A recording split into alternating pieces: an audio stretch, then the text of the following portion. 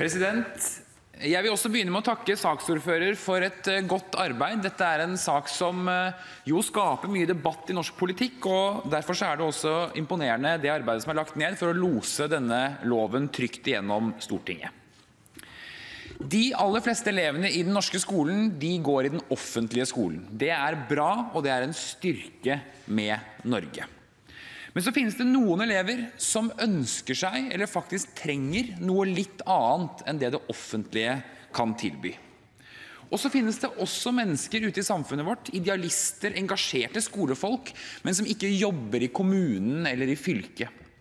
Men som allikevel har gode ideer for hvordan de ser for seg å kunne tilby noe litt annet til de elevene som har behov for noe litt annet. Og da er det også ganske viktig at eh, Når vi da skal tillate disse alternativene, så må det være alternativer som ikke bare er forbeholdt de rike, men at alle kan kunne velge det de ønsker, uavhengig av foreldrenes lommebok. Derfor har vi da offentlig finansierte privatskoler, det som vi fra nå av kaller for friskoler. Og Det er en stor forskjell på det og på de rene private skolene som hvem som helst kan starte i Norge, og som alle partiene på Stortinget er for at de kan gjøre, hvor det koster 50 000-60 000 kroner i året å gå på. Det vi nå snakker om, det er offentlig finansierte friskoler som er underlagt ganske strenge regler. I 2007 så var det sist gang man endret det som den gangen het privatskoleloven. og Det ble gjort av den forrige regjeringen i samarbeid med Kristelig Folkeparti. Og Den gangen så strammet man da inn til at det igjen ble en formålslov, hvor man sa at det kun var lov å starte religiøse skoler, skoler som tilbød en forhåndsgodkjent pedagogikk, eh, toppidrettsgymnas og internasjonale skoler.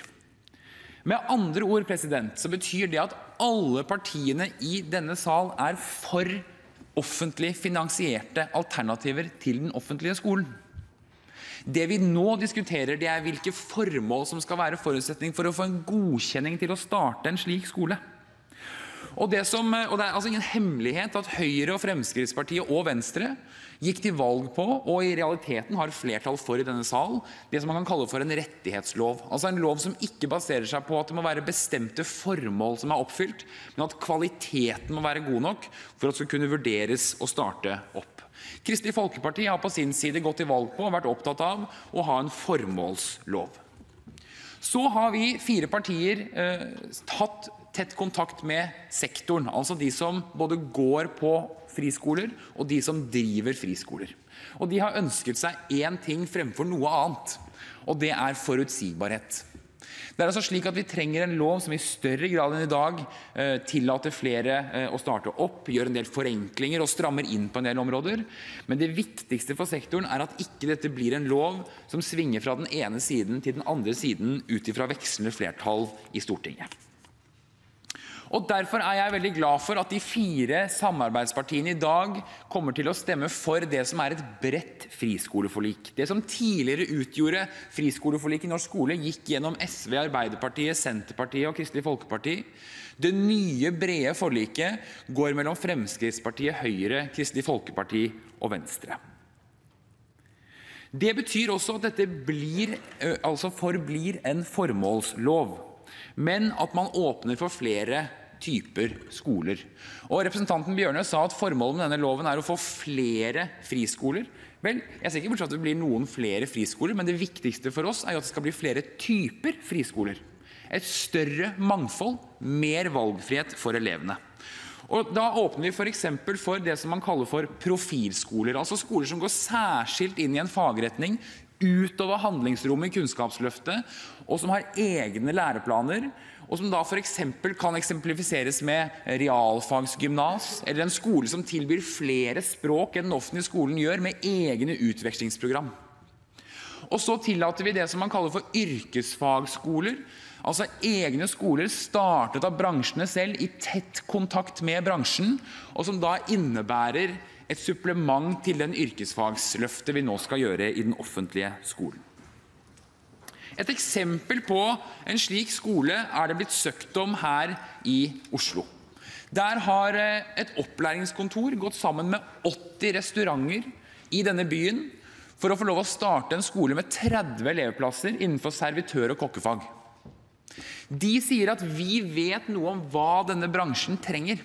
Og vi har noen ideer om hvordan den undervisningen kan foregå, og vi tror at vi kan være et supplement til den offentlige skolen. Og vi kanskje kan til og med lære den offentlige skolen noen nye måter å undervise på. Og vi kan lære noe av den offentlige skolen på hvordan de gjør ting. Og sannheten er president, at det er en skole som kunne startet opp med dagens lov. Men kun hvis de da underviste kokkene i Bibelen mellom kokkekursene. Eller hvis de sa at du kan være, gå på servitørlinja, men du skal gjøre det med steinerpedagogikk. Da kunne du startet den skolen i dag. Og jeg tror simpelthen ikke president, at den yrkesfagskolen blir bedre av det kravet.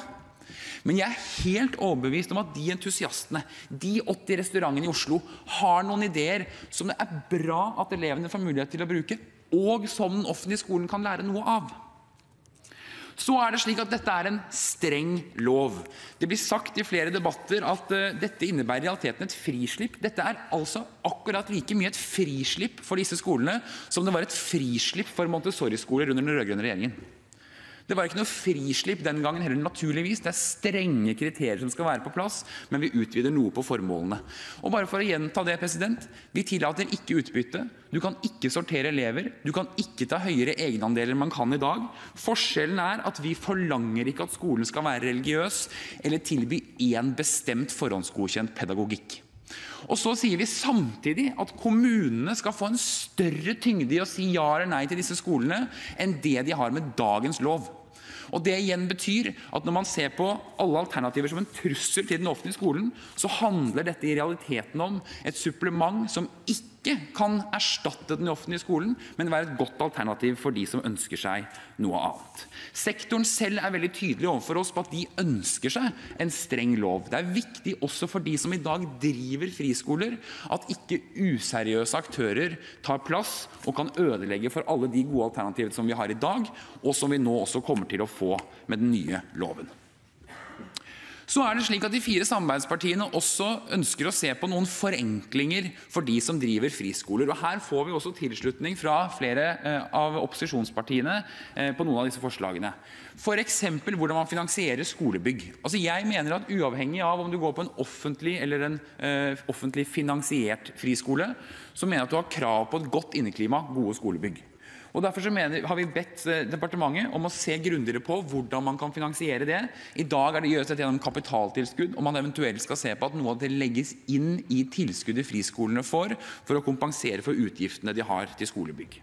Vi ønsker også uh, at departementet kommer tilbake til oss og ser på uh, hvordan 20-dagersregelen gjelder, altså fungerer i praksis.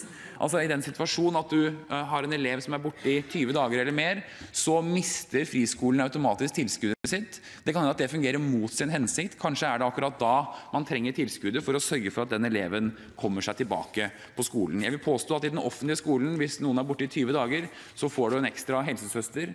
og Da er det litt urettferdig hvis de som driver offentlig finansierte friskoler, mister statsstøtten når du har noen elever med noen ekstra utfordringer.